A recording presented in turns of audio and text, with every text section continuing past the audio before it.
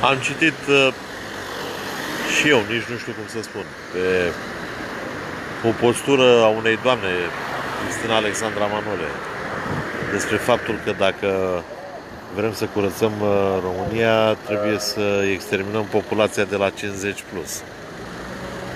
Păi, întâmplător, uh, populația de la 50 plus, în momentul ăsta, dă taxe și impozite, nu corporațiile. Corporațiile au prețuri de transfer bine administrate și un management fiscal atât de bine gândit, încât ele fructifică la maxim și au un profit zero. Ele dau în România doar TVA și este corect cât timp au specialiști să facă chestia asta. Mă copii, care doriți să mă exterminați mânca tata. Pe lângă faptul că vă beau licoarea ochiului. Tătuțul încă mai are condiție sportivă și cu puțin efort îmi aduc aminte că am crescut în Brăila și dispun de încă mici abilități sportive. Ca să nu spun de sporturile obraznice pe care le-am făcut. Deci nu luați opțiunea asta în calcul. În ciuda celor trei facultăți, patru masterate și alte povești pe care le-a făcut subsemnatul, el mai dispune și de o mică rezervă de mobilitate, încă vitalitate, experiența crescutului în Brăila și prin niște dojouri, ca și la sălile de sport. Deci, din perspectiva asta, credeți-mă că nu e o soluție. Exact după cum am auzit alți idioți, culmea, așa zis și de dreapta, dar ei sunt de dreapta pentru că nu sunt pesediști, atât. N-au noțiune politică și spun că Practic, dacă am scoate de la vot oamenii care sunt uh, cu 8 clase, atunci PSD-ul n-ar mai fi votat. Greșit. PSD-ul este votat pentru că are un mesaj politic și o politică oarecare. Bună sau rea, atât pot ei. La oferta care practic există în momentul ăsta, oferta lor e cea mai bună și majoritară. Ăsta e singurul motiv, nu altul. Restul sunt acte de neputință. Loserul trebuie să-și facă spiciu și atunci el, nu, ca la judecată.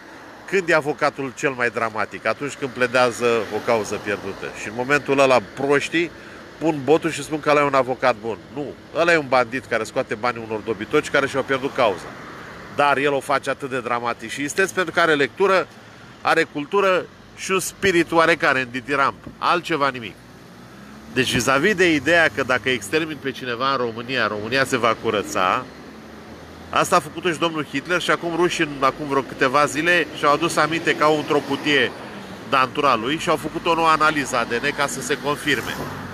Dacă doriți într-adevăr să vă preznească un pumn de fier sau să aveți parte de un tratament dintre ăsta, colinde cu tancul, un cocktail de proiectile, să mai zaceți puțin prin niște gropi comune, da, practicați genul ăsta de politică și veți culege roatele negreșit. Cât despre subsemnatul, ca să-mi luați voi pielea, mânca varneca. Nu știți ce vorbiți. Vă așteaptă cu bunăvoință din partea mea, la nivel de mesaj de căldură și ospitalitate, o mare de surpriză. Dar e o chestie secundară. Nu e bine să vă gândiți niciodată la altceva decât la proverbul ăla care spune că cine sapă groapa cade el singur în ea. Este o mizerie umană omul ăla care gândește așa ceva. Este o rușine biologică să ajungi să spui că țara ta va fi curățată și va trăi mai bine dacă vei ajunge să extermini pe cineva. Este un act de primitivism, de subdezvoltare mentală și de departe de antipatriotism, antinațional.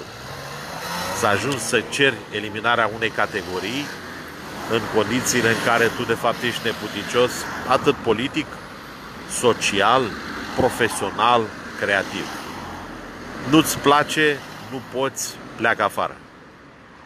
Nu-ți place, nu poți, nu vrei, organizează-te. Depune eforturi. Fă și altceva decât să strici că ea sunt penali. Voi dacă sunteți mai virtuali sau mai plini de virtute, considerați că aveți vreun merit? Dacă sunteți în situația în care puteți invoca faptul că penalii sunt incriminabili, va fi mult mai ușor politic să puteți ajunge la putere, date fiind programele lor politice proaste și mizerabile. Atenție! Nu sunt peserist. Atenție! N-am antipatii de natură politică. Dar nu pot să știu că un singur lucru mă caracterizează. Acela de a fi eu însumi. Atenție! Chiar ieri vorbeam de ceea ce face instituția primarului, căreia nu împărtășesc din politica energetică de transformare în ghetou a orașului. Dar asta nu mă împiedică să spun că persoana fizică a lui Ionus Pucheanu, eu nu am nicio stare de adversitate.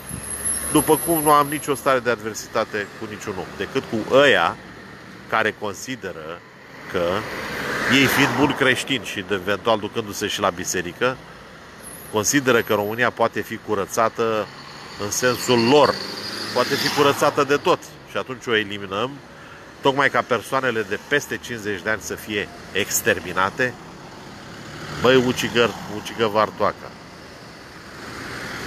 pupa varbuba, mânca var lepra, fie vorba între noi, cu toată dragostea. Rușine.